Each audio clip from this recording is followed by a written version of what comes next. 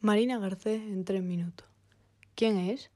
Marina Garcés es una filósofa y escritora española, nacida en la ciudad de Barcelona el 30 de mayo de 1973. Su primer libro fue En las prisiones de los posibles, pero siguió escribiendo y publicando otros como Ciudad Princesa. Actualmente coordina un proyecto llamado Spy en Blanc, cuyo objetivo es que el pensamiento vuelva a ser apasionante. ¿Por qué es conocida? Garcés comentó en uno de sus libros que a las filósofas les ha castigado el silencio y el anonimato, ya que en la historia de la filosofía casi todos son hombres, blancos, occidentales y acomodados.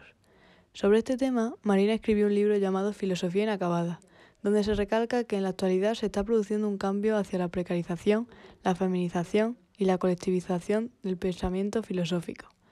Por estas ideas podemos suponer que Marina Garcés es una gran luchadora y está intentando conseguir la igualdad de género mediante discursos, charlas, conferencias y sobre todo plasmándolo en cada uno de sus libros.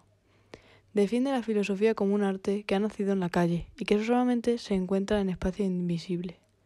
Su trabajo se centra en la política y en los pensamientos críticos.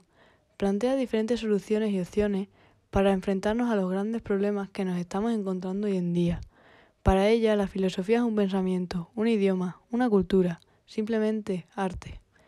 Garcés critica la costumbre de estar de acuerdo por comodidad. Por otra parte, juzga la confianza ciega en cualquier cosa.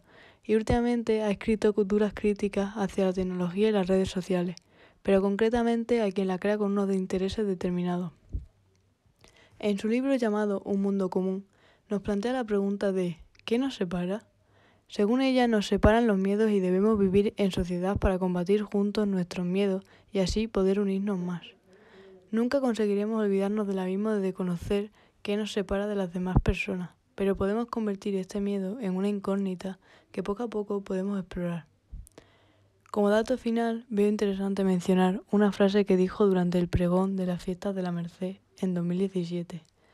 Garcés se considera filósofa en la universidad y en la calle, en su casa y en el tren, con sus alumnos y con sus padres. Según ella, si existe distinción es porque no se entiende la concepción orgánica de la filosofía.